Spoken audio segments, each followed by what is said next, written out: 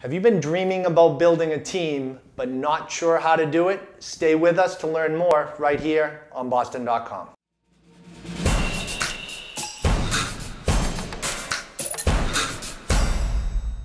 Really excited about today's show, joined by a top agent, superstar agent on Cape Cod, Mariana Costa from Dream Homes International with Keller Williams. That's right. Mariana, thank you for stopping by. Thank you for having me. Very happy to be here. Uh, today we're going to talk about building a real estate team. You've, mm-hmm. you've been very successful at it in a short period of time. Thank Uh, I think before we get into that, it's really important to understand your background and, and how you got into real estate. Sure.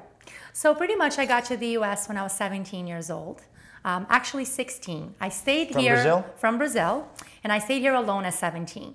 So I arrived at 16 years old. The goal was to come with my mother, stay here for a couple of years. Um, being a singer in Brazil since I was like four or five years old, I just wanted to learn how to speak English. Are you going to take us a tune? No, I'm kidding, I'm kidding, hey, you knows, you know, we don't know where this is going to go. Maybe at the end. We'll save Maybe at the end. We, we might us. save it. We might save it for a special moment. Uh, but yeah, so pretty much I stayed here because my mom decided to go back early. The idea was stay for two years and then go back home and take off with my singing career. That was the plan. About 10 months in, my mom said, We're leaving. And I said, Well, I just started learning English, so I can't leave. So I stayed by myself at 17 and I started, quite honestly, just babysitting, waitressing, um, bartending uh, when I became 19 years old, and cleaning homes. And when I was cleaning a house one day, I came across a check for like $38,000. And it was pretty much what I had made the entire two years I was here at that point. And I thought to myself, if this is legal, I want to do that, like for now. So I definitely got into real estate for the money. That's not the reason why I stayed here, and it's not the reason why I stayed in real estate. So we can get into that a little bit more. Sure, absolutely. So, I mean, amazing story. And I, I think you left this out, but you actually stayed in a car. You lived out of a car. I did, yeah. So when you get into the real estate business, it, it's funny because I was actually a real estate agent, homeless. Nobody knew at the time, of course. Can't use that as a marketing tool. Right. um, so I, quite honestly, the, the reason being um, was I had to choose where my money went. Um, I needed gas to get to work. I needed gas to show houses. Um, and I didn't have that much money coming in, and I had a lot of money going out. Because when you get into real estate, you got to get your name out there. And again, I was here alone. I didn't have a circle of influence, I didn't have a database, I didn't know anybody. So I had to spend some money to be able to start making some money. And looking at only about a $1,000 that I was earning on a monthly basis, I had to choose where does that $1,000 go? So that's when I started living out of my car. And yes, I was in real estate in the very early stages of my career. For about a year, I was sleeping out of my car. Amazing story. and what I find even more amazing is that there's so many people out there that come up with excuses or get into the industry. It, it's tough being an agent because it's 100% commission most of the time. Yes, it is. And it's tough to get, you know, your business up and running, but it's eh, people stumble over call reluctance or I don't get enough leads. Or, you, know, you came out of a story where you didn't speak the language. You were extremely young to get into the business. You were living out of a car, and you still found a way to make it work. So kudos to you. I mean, that, Thank that's you. an amazing story. And then fast forwarding, you, you're being you're a successful agent. You turn into one, and then a few years ago, you took your vision to a whole new level, Yes. and have really done a fantastic job Thank at you. creating a team. So I want you to kind of dive into for those people out there that are in real estate. You know, why should they create a team, and and how did you do it? Well, I think first it, it really comes down to looking at whether you have a need to open a team or not. Um, for me, the way that I grew my business uh, was just by really believing in Giver's Gain. Again, I didn't know anybody here, and I didn't have that much money to market to get to the point where I'm at, uh, where I could actually market enough on magazines and newspapers to get going with my career. I had to do it by word of mouth. I didn't have any other option. So for me, it was really networking and coming from that giver's gain mindset of giving somebody so much value that they come to you for just about everything. Um, so a company that really inspired me early in my career was Buffini, Buffini and Company. Brian Buffini. Um, love, yes, Brian Buffini really helped me understand that a business could be built based upon relationships. And I ran with that. And with that said, by the age of 27, I was closing roughly 40, 45 homes by myself um, I was getting way more leads and way more referrals than one particular person could handle. And I actually gained about 60 pounds because I was working around the clock. I literally would wake up at like seven and I probably wouldn't go to bed until 11. And I started to a point advertising myself as the 7 Eleven of real estate because I was always available. And, and that was okay for quite some time, but what I realized is it wasn't sustainable. Um, so for me, it was growing a team was quite honestly a natural reaction to having more referrals coming into my business than I could handle alone. So I did it more for um, the client understanding that I wouldn't be able to keep up with that number of referrals for much longer. And it kept on growing. People kept referring. There were some weeks I would get more than 14 referrals in a week. And I'm like, I'm only one person to pre qualify, to show houses, to set up appointments, to find out, you know, what are the best interests that they're looking for to achieve within that purchase. And I was just finding that I wasn't able to deliver the service that I really wanted to. So growing a team for me was quite honestly a byproduct of demand. So the demand is there. Now what? I mean, it, it how do you figure out that first person or, or, or, or step to take mm-hmm. to build that team? So what the, would you recommend? So for me, the very first person I recommend you hire is someone that's going to be the VP of operations for your company eventually. Um, whenever you hire someone, you there's two different types of talents. You have cul-de-sac talent and you have capacity talent right? So cul-de-sac talent is somebody that's going to stay within that, within that position.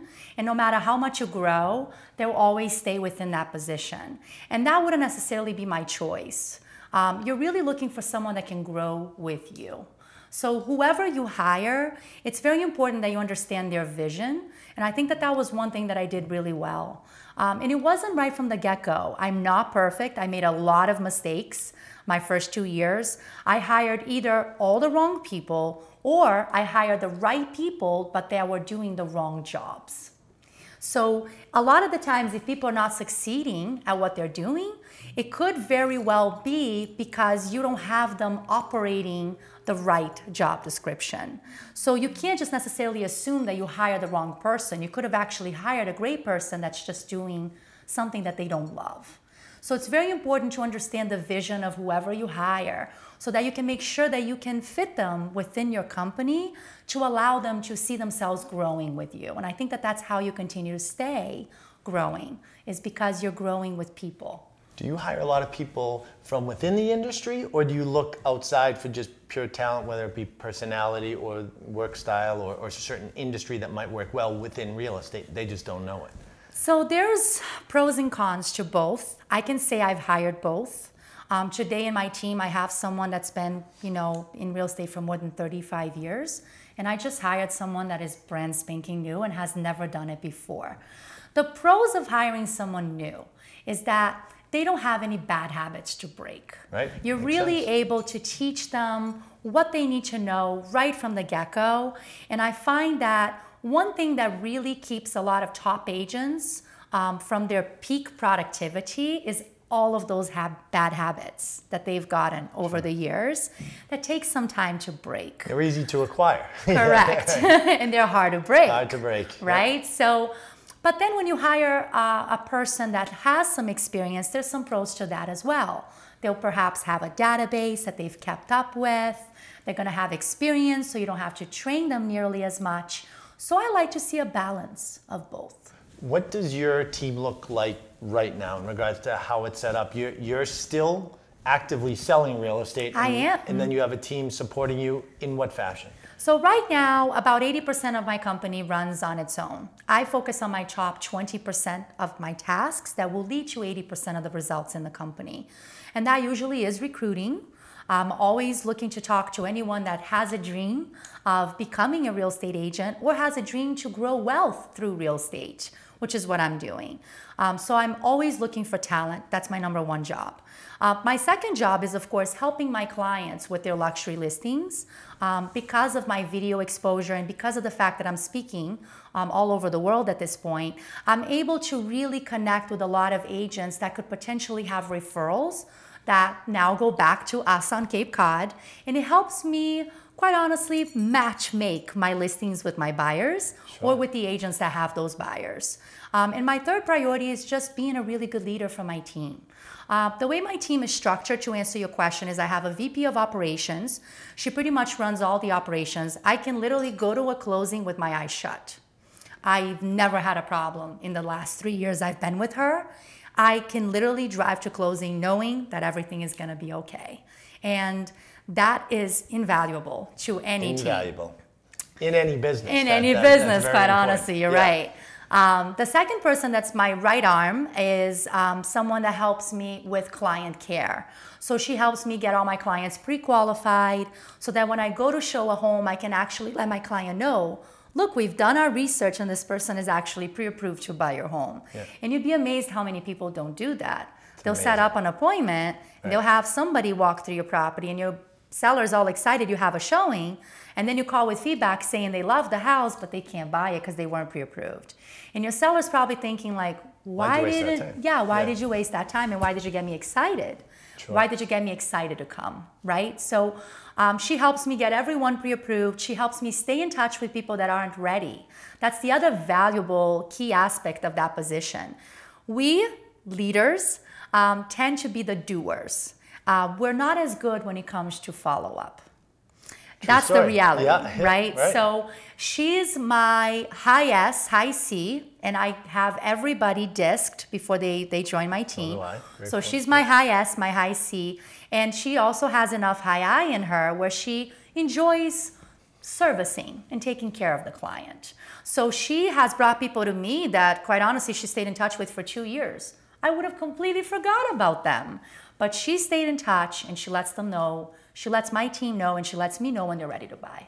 That's, which is really awesome. It's awesome. And like you said, having this team in place allows you to step outside of your business. Correct. Um, it's amazing you've taken on so many other things, extremely successful selling real estate with your team, but you're following other passions. Um, you know, you're public speaking all over yes. the world now, yes. uh, helping others grow their teams.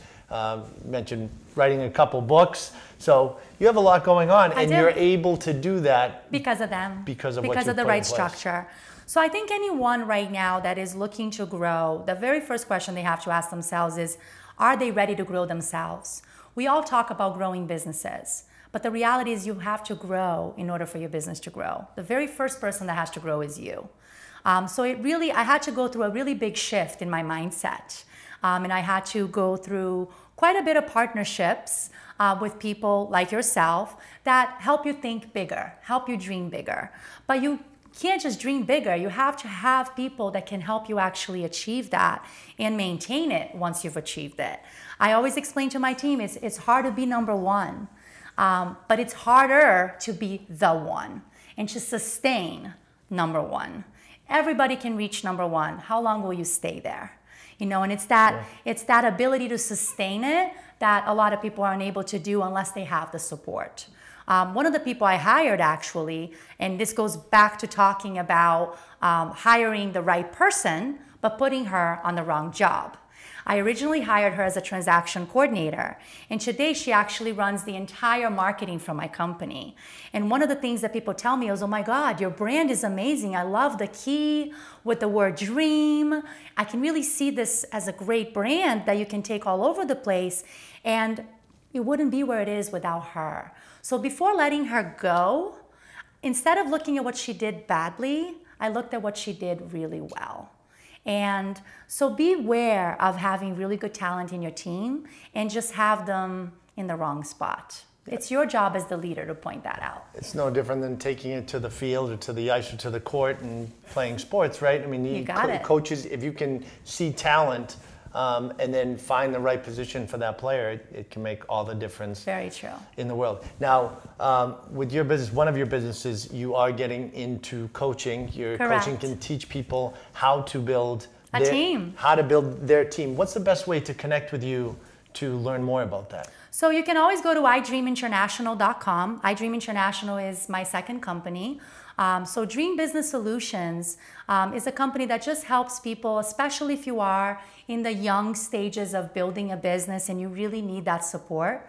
Or if you're now where you've built a team, but your systems don't seem to be sustainable. What I'm helping people do is design software, design systems, implement strategies through coaching and through working with Dream Business Solutions that will help you sustain a very big house on top of that foundation. I coach people that are doing over $200 million a year in volume. Even though I'm only doing just shy of 20, I coach people that are doing 10 times the amount because I focused on my structure before I focused on my growth. Yeah. And a lot of people don't do that. They focus on growing before they need systems. But then they have to work backwards, which I've seen a lot of people have to do. So I coach them through that. Um, speaking is something I absolutely love to do. And I was very blessed to become one of the Keller Williams speakers for one of their biggest conventions, Family Reunion. So now that's giving me the opportunity to go into different markets, into different areas, and really coach people on how to leverage themselves through a team, through systems, and through video. And that's a key one. Video plays such a major role. Yes. That's a whole nother time. Next time you come back, we'll Yes, talk about video. we can talk about that. Uh, but thank you for stopping by, Mariana. And if you want to learn more about building a team uh, or buying or selling a property on Cape Cod, uh, you can really connect with Mariana. The best way to do is to go to dreamoncapecod.com. There's a tab for coaching, whole section on real estate. You can check out a really cool website and brand. Yes. Uh, when you come back next time, we're going to talk about building your business with video. Perfect. A great opportunity. Follow her on Facebook, and you'll see what we're talking about. Amazing videos communicating with clients, communicating with the community in regards to the real estate market. So check it out, and you got to promise to come back. Yes, I will. And thank you for having me. I appreciate the opportunity to inspire someone out there that's really looking to take this on. So thank you once again. Thank you. And remember, we have more tips and real estate information just like this right here on boston.com. Don't forget to like and share, and we'll see you next time. Take care.